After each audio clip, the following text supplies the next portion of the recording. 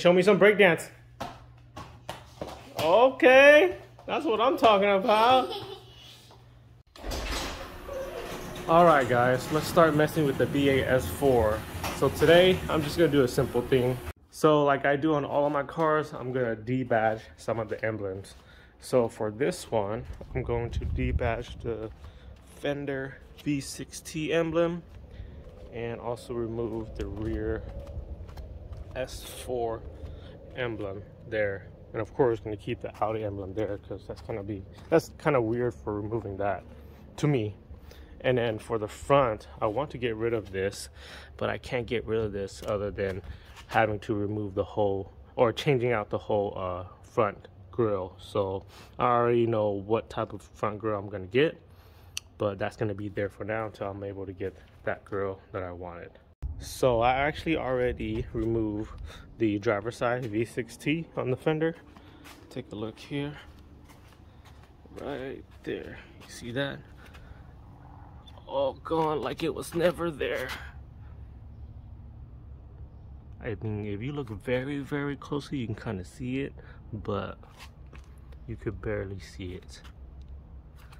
So, I'm gonna show you guys how I did it on this fender and then finish it off by taking off the S4 in the rear. So before I get this video started, I just want to say, it'll be great if you guys can help support my channel by subscribing to my channel. All you gotta do is hit that red subscribe button right under the video down there. Thanks guys. Dang.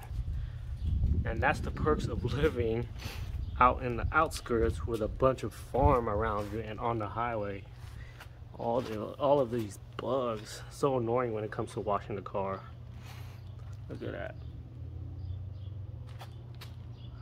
So here are all of the tools and things that I use to remove the emblem.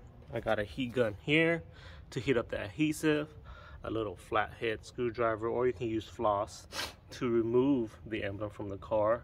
Then I have this little 3M specialty adhesive remover to remove the remaining that's left over once you remove the emblems. Then I have a rubbing compound with a drill or you can use a polisher to rub out the remaining of what's left over after cleaning it up and then of course some rag and some microfiber cloth to you know clean it up. Okay, so the first thing I'll be doing to the emblems is apply some heat so that the adhesive is soft and that the emblems are easier to come off.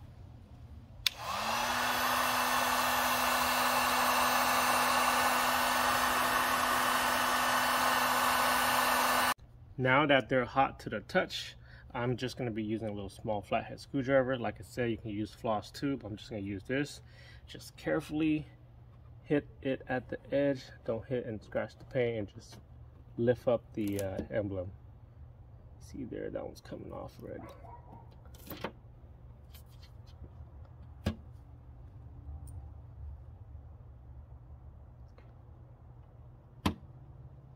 Hot.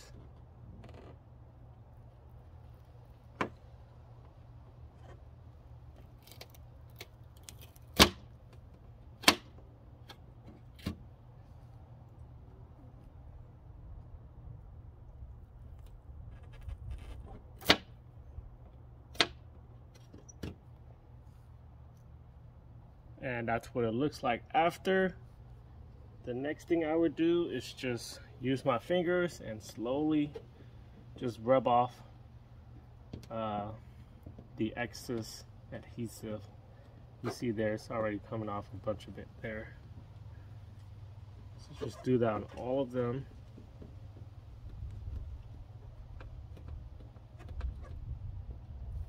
So that's what it looks like after trying to rub as much of that adhesive off as you can. Next thing we can do is use the adhesive remover to remove even more of that off. Just spray just a little bit, not too much. Let it sit for a little bit. And we can start rubbing it out.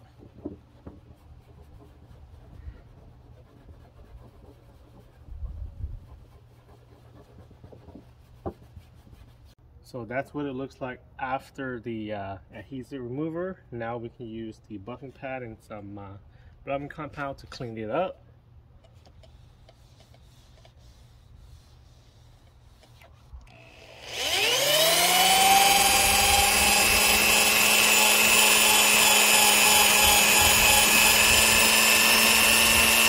Wipe it up.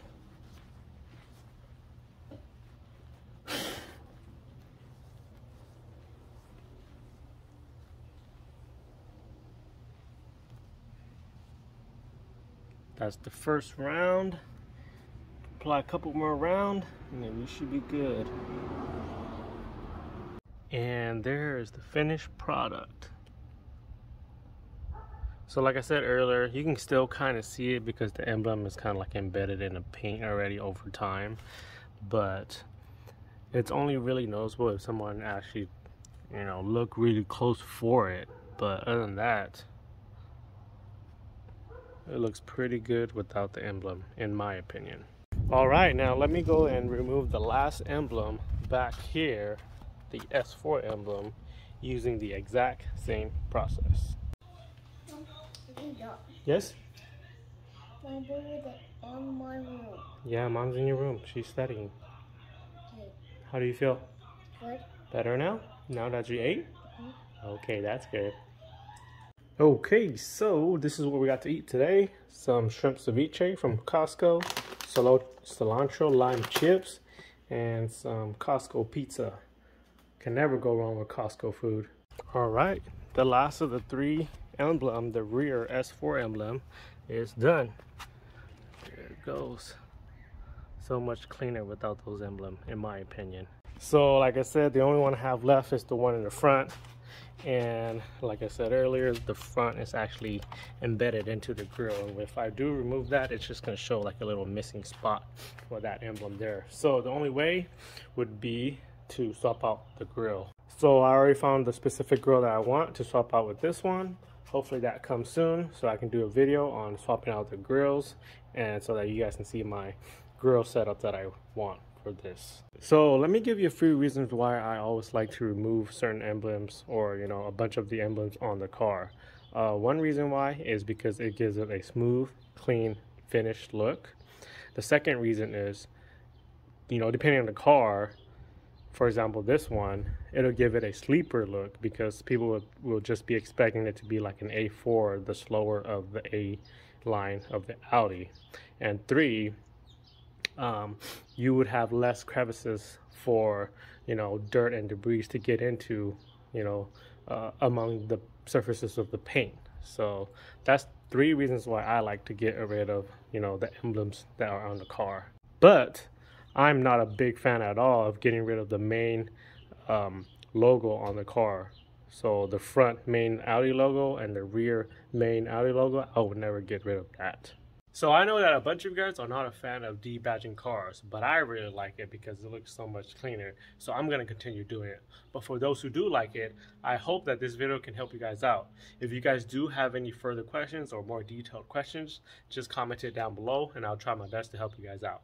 Alright guys, so that's going to end it here. Don't forget to subscribe to help support my channel and to stay updated on the builds of all my cars. Also, don't forget to provide any feedback in the comment down below so that I can help my channel grow. Anyways, thanks for watching this video guys. Uh, don't forget to like this video too if you guys find it helpful. I will see you guys in the next video.